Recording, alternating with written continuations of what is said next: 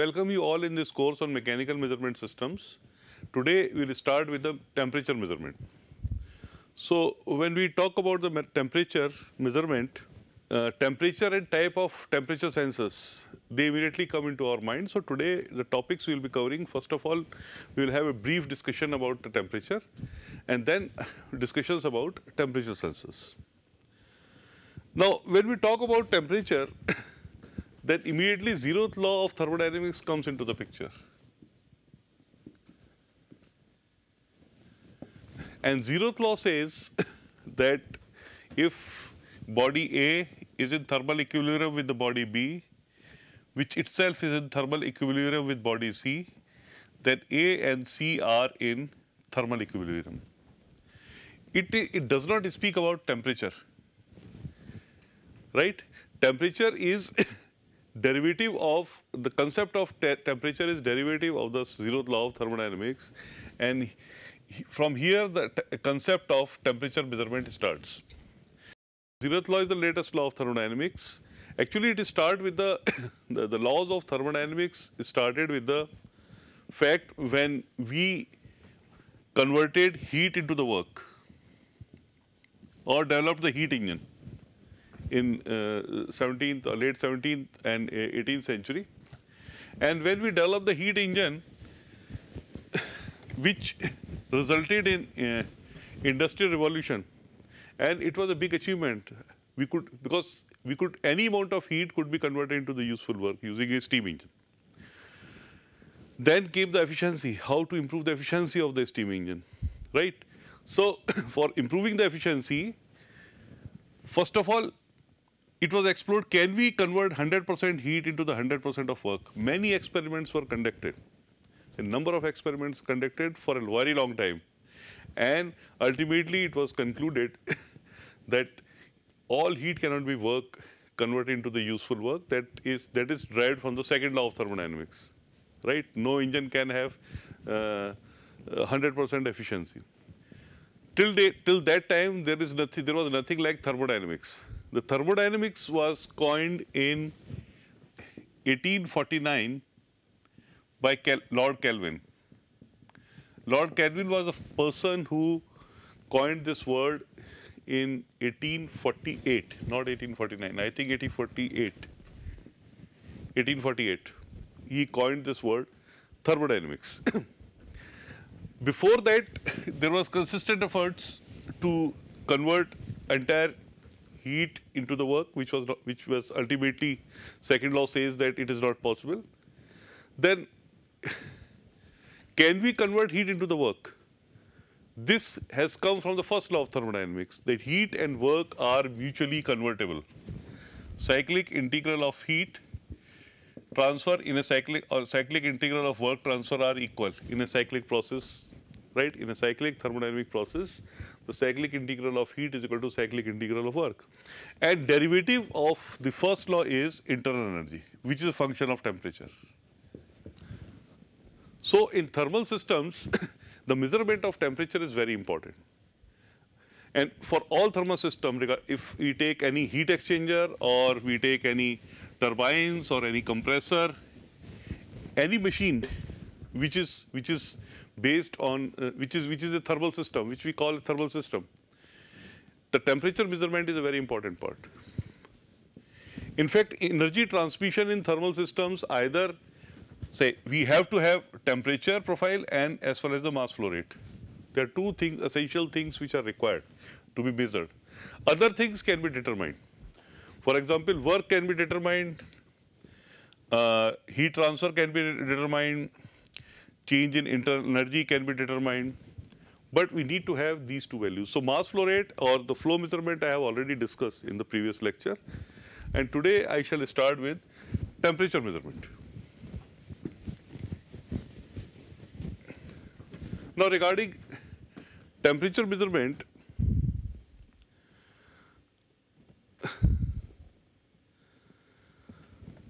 we use an instrument which is known as thermometer.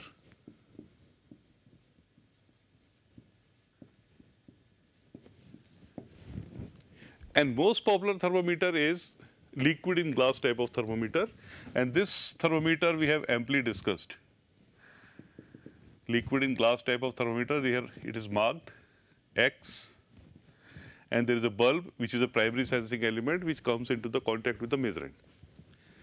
Now, these marks are not arbitrary in a thermometer. There is a temperature scale.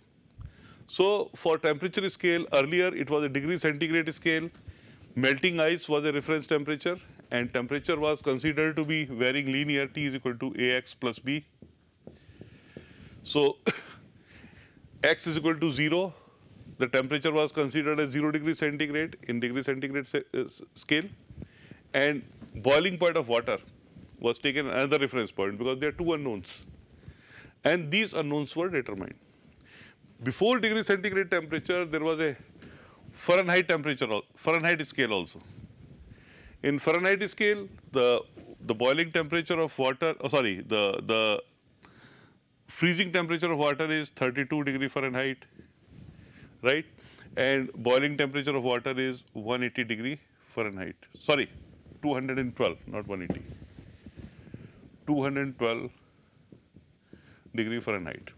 So this degree centigrade scale followed the, because it is an MKS system, right? Right now we have SI system. Now after this scale, another scale came which is now being used. It is based on the triple point of water and this scale has simple reference point that is 0.01 degree centigrade that is triple point of water.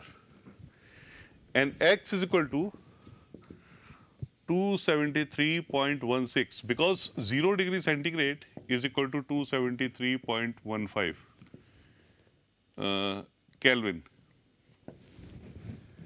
So it is 273.16 divided by uh, sorry, this is T.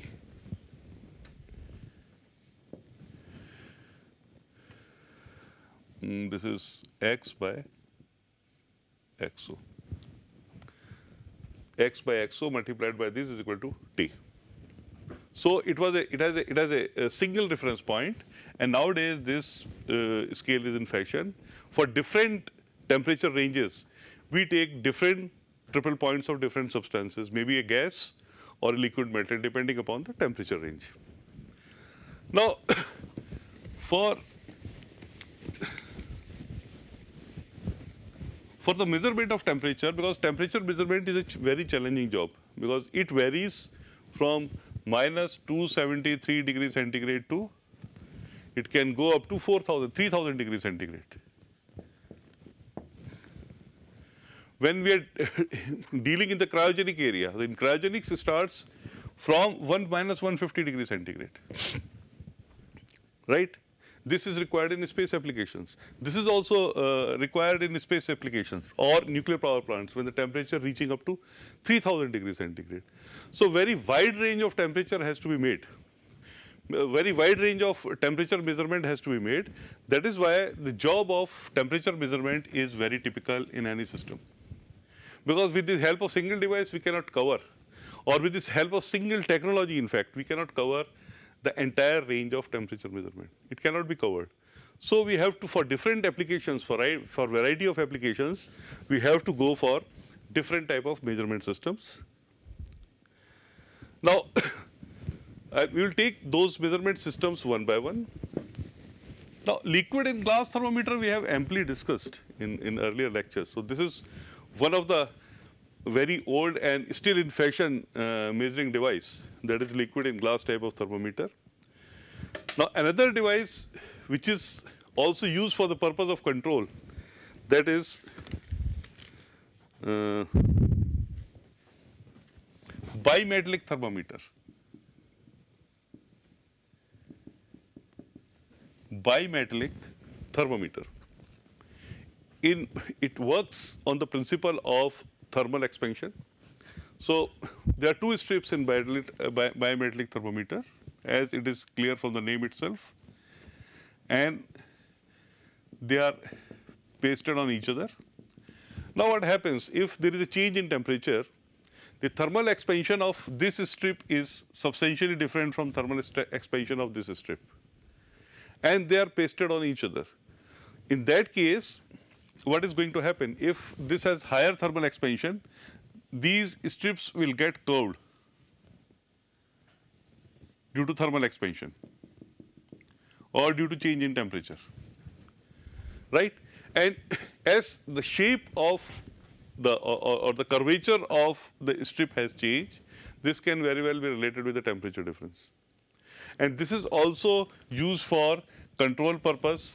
Uh, it is used in refrigerators also, in some of the refrigerators also, for contact and non-contact type of device. Because if temperature exceeds certain limit, it will it will deform, it will change, change a curvature will be developed, and some contact will be established or contact can be broken depending upon the requirement. So this bimetallic strip can also be used as a control device. Another type of thermometers uh, is fill type of thermometer. Fill type.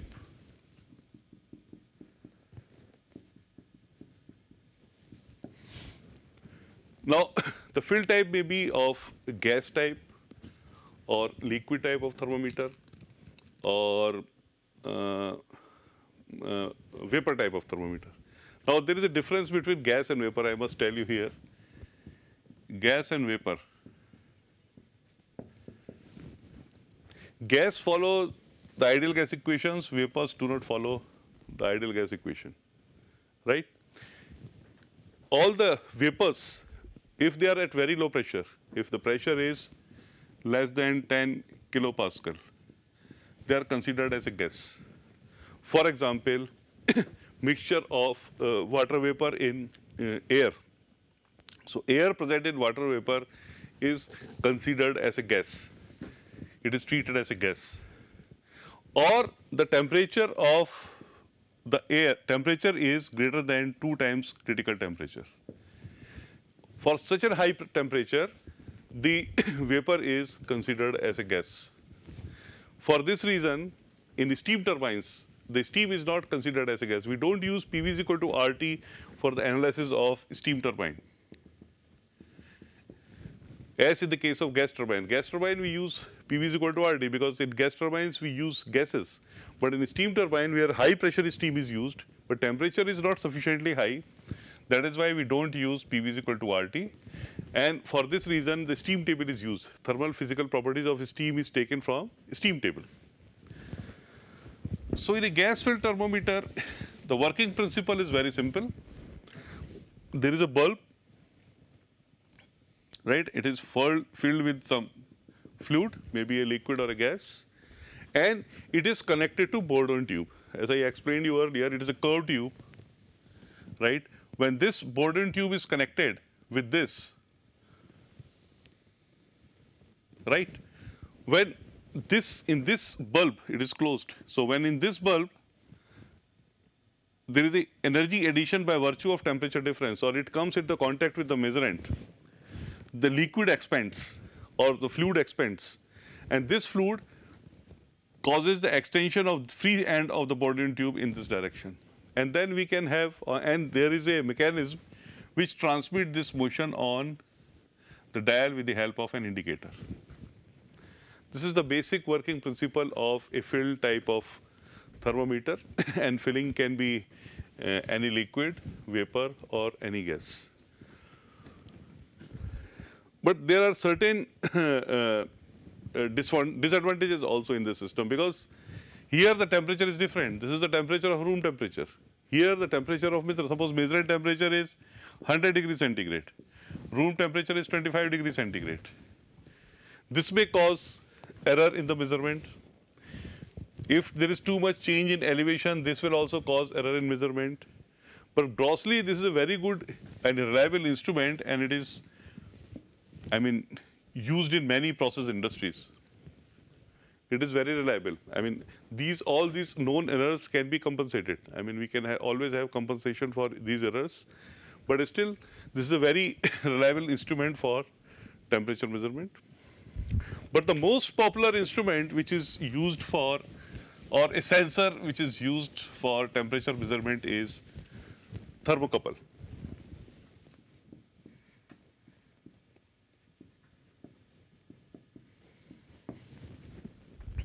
Now, thermocouple works on a on, on, the, on the principles of physics that is Seebeck effect.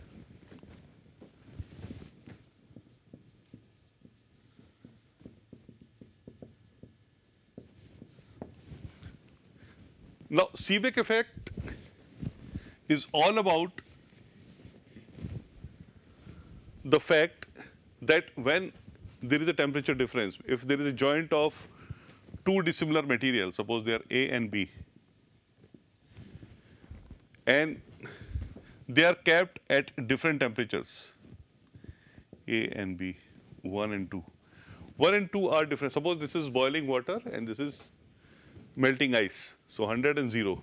Some EMF will be generated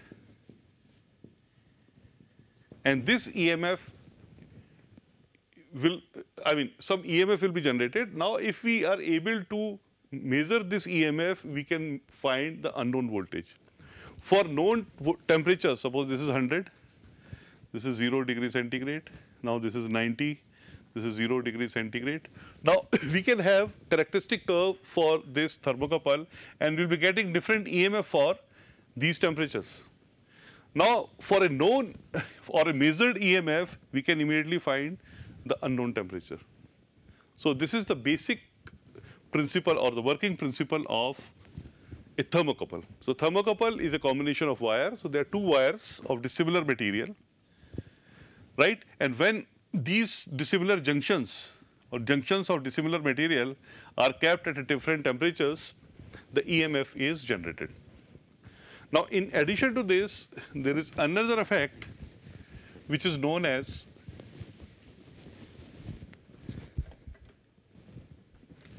Peltier effect.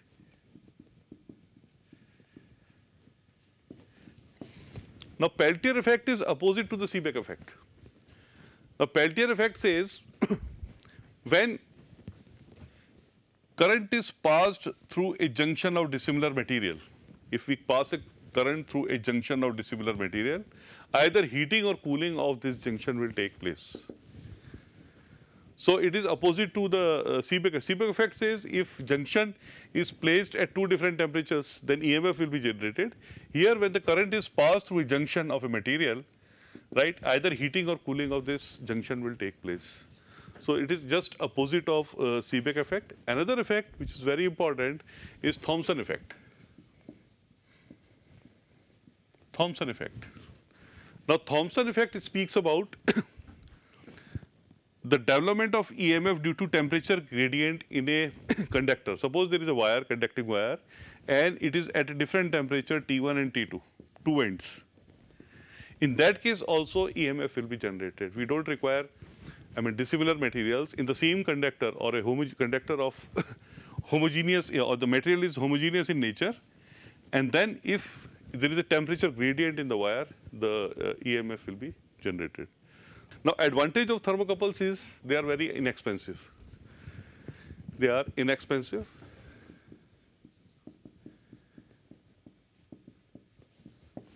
They may cost you 5 rupees per meter and they are expensive as well. They may cost you 5000 rupees per meter also. So, they are, they are not absolutely inexpensive at all. The cost may vary from 5 rupees or 3 rupees per meter depending upon the requirement and sophistication is required it can go, go up to 5000 rupees per meter or 10000 rupees per meter. but the, the, the beauty of these thermocouples is you can use thermocouples for the temperature measurement for span of let us say uh, 1500 degrees centigrade. You can comfortably use thermocouples from minus 200 to 1300 degrees centigrade.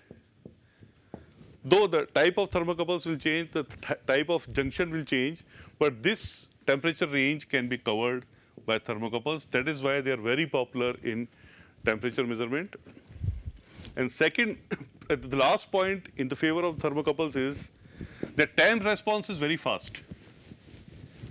Because a thermocouple tip can be made as small as 0.25 mm or less than that. So in 2.25 mm tip, there are two wires connected with each other. and the diameter of this sheath is 0.25 mm. And these thermocouples have very high response time. So, very low response time. They are, I mean, the response is very good. So, they have very low response time. If you compare with the liquid in uh, uh, glass type of thermometer or bulb type of thermometer or any other temperature measuring device, the thermocouple we can manage we can manage very high response of thermocouples. So that is also one of the advantage of uh, advantages of using thermocouples in temperature measurement applications. Now there are different classes of thermocouples we have because because we have to cover a wide range. So there are different classes of thermocouples and we'll start with home body class or base metal thermocouple, base metal or home body class. And in this class, the thermocouples are uh, T, J, K, N, E, these type of thermocouples. Another class of the thermocouples is uh, rare metal class. In rare metal class, they are costly thermocouples and they are BSR, B, S and R thermocouples. Now these thermocouples have different compositions. Let us start with T. We'll shift a little. So let us start with T. T type thermocouple. This thermocouple is very popular. it is made of copper and constantan copper. One wire is copper wire, pure copper wire. Another wire is copper constantan. It is cupro nickel alloy, copper constantan. This is capital C. It is known as, commercially it is known as T type of thermocouple. we call it copper constantan thermocouple. So, okay, if you want to go to the market and purchase this type of thermocouple, you have to write T type T type of thermocouple, right? And this thermocouple can measure temperature in a range of minus 270 to 370 degrees centigrade. So this is the temperature range for this thermocouple and sensitivity of the thermocouple is 15 to 60 microvolt per degree centigrade. The Sensitivity is change in the output, change in the output in millivolts for per second change in temperature. So it is 15 to 60 because this EMF and this relation, temperature change and EMF relation is not linear. It is non-linear. So which your range you are operating, it is important. For low temperatures, this is the sensitivity, this is the sensitivity for higher temperatures. Similarly, for J type of thermocouples, which is second popular thermocouple, it is J type. It is instead of uh, copper here, the iron is used. So, iron constantan thermocouple. It is again cupronickel alloy, constantan is cupronickel alloy. And the temperature range is minus 210 to 760 degrees centigrade. If you refer different authors, you will find different ranges. Even manufacturers have given different ranges for temperature measurement of thermocouples, but what I am depicting here is the same range.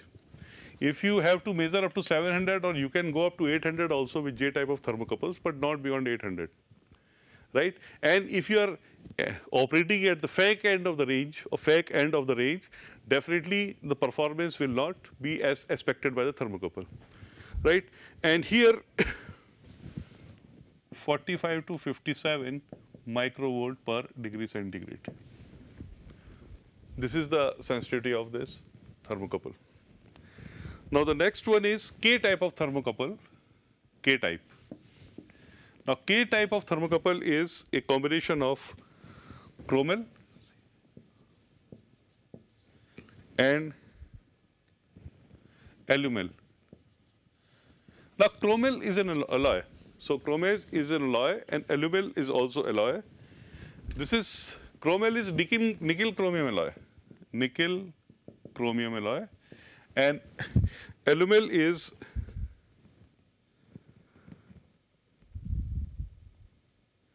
nickel aluminum alloy.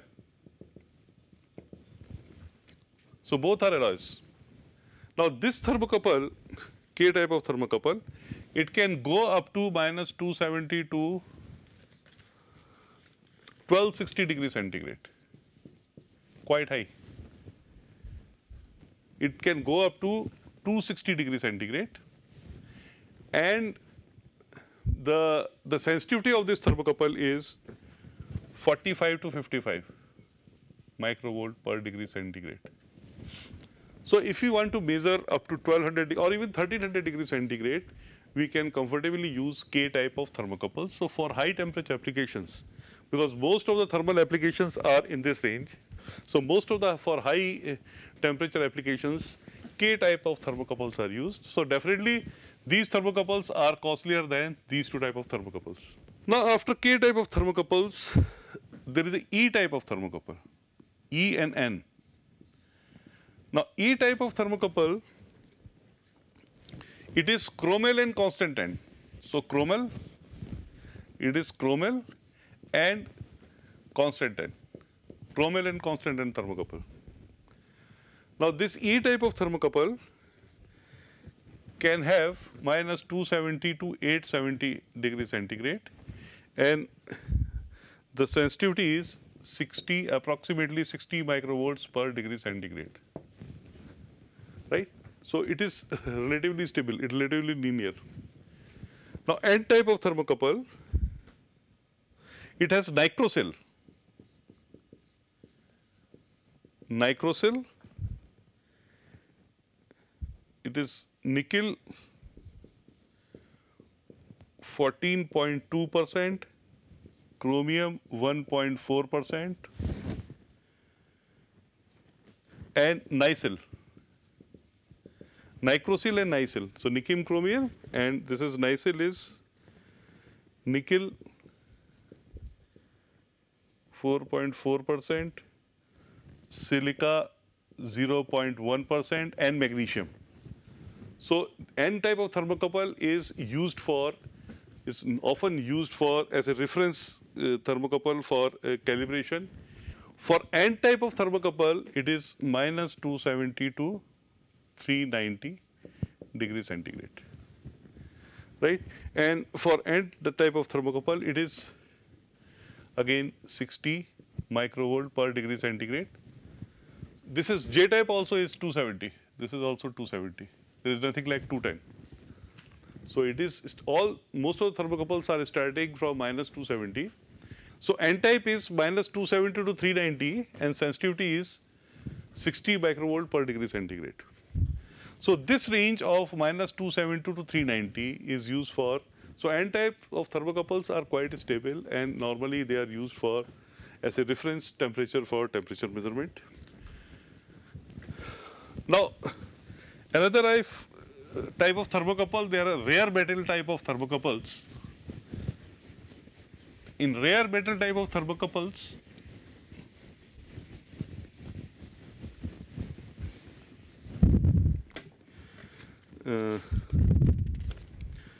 there are R, S and B. So R type of thermocouple. So here platinum is used in rare uh, metal type of or uh, precious metal type of thermocouples. The platinum is used. So here the R type of thermocouples has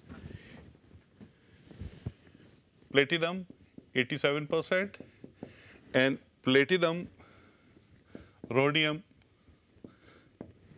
alloy of this is 13 percent. This is the combination. That is why it is costly. They are quite costly. So R type of thermocouple. And the temperature range is minus 15 to 1500 degree centigrade. This is the temperature range. And sensitivity varies from 0 to 10, oh sorry, 5 to 10, not 0, 5 to 10 microvolt per degree centigrade. It can go up to 12 also, 12 or 13 also. And normally we take around 6 to 7 microvolts per degree centigrade, the sensitivity of R type of thermocouples. Next is S type of thermocouples. Now in S type of thermocouples, it is also platinum based alloy. It is platinum 90 percent, the amount of platinum has increased and platinum rhodium is 10 percent. And S type of thermocouple also it is same range and sensitivity is also same. Now next is the last one is B type. And B type of thermocouple it is platinum rhodium 30 percent and rhodium is 6 percent right? And this also the range is 0 to 1700 degree centigrade. And the sensitivity is same. No yes sensitivity is same. In addition to these there are other number of exotic thermocouples. I mean there is a long list. And with the help of thermocouples nowadays we can measure up to 2200 degrees centigrade. And efforts are still on to go for because beyond that temperature we will have to go for indirect temperature measurement or non-contact type of temperature measurement technique which is not considered to be very very reliable reliable. So after this material of thermocouple we will discuss about the different combinations or different type of thermocouples. For example, grounded thermocouple. There is there are two terms: grounded and ungrounded, and bare and sheath thermocouple. Now, bare thermocouple are simple wires. Uh, they are connected, and ends are fused, and they are used for temperature measurement. But sometimes protection is required from oxidation, oxidizing or reducing environment. Or for example, I am temp measuring temperature of water. If I put just bare wire type of thermocouple, the short circuiting, earlier short circuiting will, short circuiting will take place and I will not get the appropriate reading, right? So, these wires have to be insulated. These, the insulation has to be provided on these wires. And sometimes insulation is not sufficient because if even if you provide the insulation, temperature may not be correct in hostile environment. So entire thermocouple has to be covered. So sheathing is done. Now for sheath, there are two wires, thermocouple wires. There's the tip of thermocouple and wire is coated with magnesium oxide that is MgO 99.7 percent. Right? An entire system is put under a sheath it is a long thin tube. I mean it, it, if you look from outside it appears to be a wire because diameter of this sheath this varies from 0.25 mm to 5 mm or more than that. So it can be as small as 0.25 mm with all this arrangement. When this tip is in contact with the with the surface of the sheath uh, or the tip of the sheath, then it is known as grounded thermocouple. The response of the grounded thermocouple is faster. When it is ungrounded thermocouple, then response is not that faster, right? So we can further classify classify thermocouple ऐसे expose thermocouples expose grounded ungrounded grounded और bare I already return is both are same thing same same meaning the same expose और bare and sheath thermocouple right and sheath it it comes from different material it is made from different material it can be of S S three one six it can be of S S three zero four and it can be of Inconel. So Inconel is an alloy. So Inconel is an alloy. So Inconel is an alloy and it is used for highly corrosive environment. If the environment is not corrosive, then we can go for SS304 or SS uh, uh, 316. But still, if you compare these two, this SS316 has higher, uh, if you compare these two, has higher uh, corrosive resistance. This is all for today. In the next class, we'll continue the discussions on thermocouples.